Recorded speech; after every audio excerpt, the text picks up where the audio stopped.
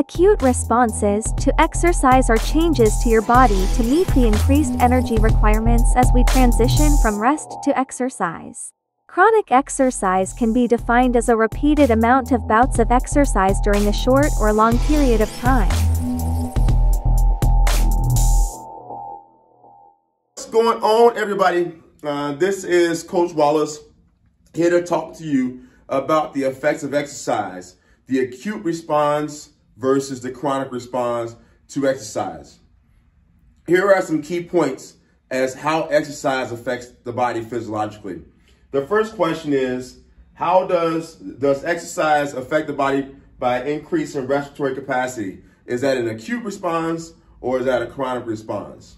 The answer is, it is a chronic response. So as you are exercising on a regular basis, over time, your respiratory capacity will increase. That means you have the ability to um, breathe better over time. Question number two, does is exercise, does exercise, exercise decrease blood pressure in moderately hypertensive individuals? Is that an acute response or a chronic response? The answer is, that's a chronic response. If you have hypertension, that means that your body, your, your blood pressure is elevated. As you exercise and consistently exercise over a period of time, it will decrease your blood pressure over time. Okay. Question number three is, does exercise increase cardiac output? Is that an acute response or a chronic response? The answer is Exercise increases cardiac output. That's acute. That's an acute response. As you, as we know, the equation for cardiac output is stroke volume times heart rate. So as your stroke volume or your heart rate increases, that causes you to uh, expunge or expel more uh, blood from the heart. So that's an increase in your cardiac output. Question number four Does exercise lower the resting heart rate? Is that an acute response or chronic response? The answer is it is a chronic response.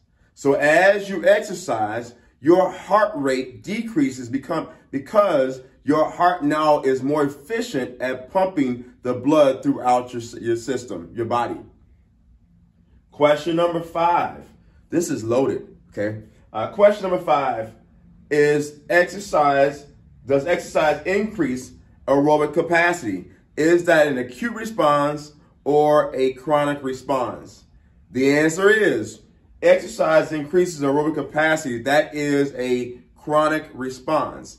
Again, the key concept with exercise is that you are consistent in your journey on your transformation. So that increases your aerobic capacity or your ability to do more exercise, do it at a, a more intense rate, uh, work harder, and be more efficient at the work that you're doing.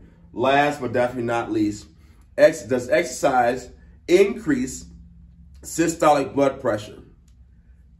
The answer is, is that an acute response or a chronic response? The answer is, that is an acute response. Exercise, as we exercise, our blood pressure automatically goes up. Systolic blood pressure is how well your body is how your body contracts uh, during a heartbeat. So as you exercise, your systolic blood pressure will go up instantaneously. Hey, say stay tuned. Con like, continue to like our videos. Continue to watch the videos. Be blessed. See you next time.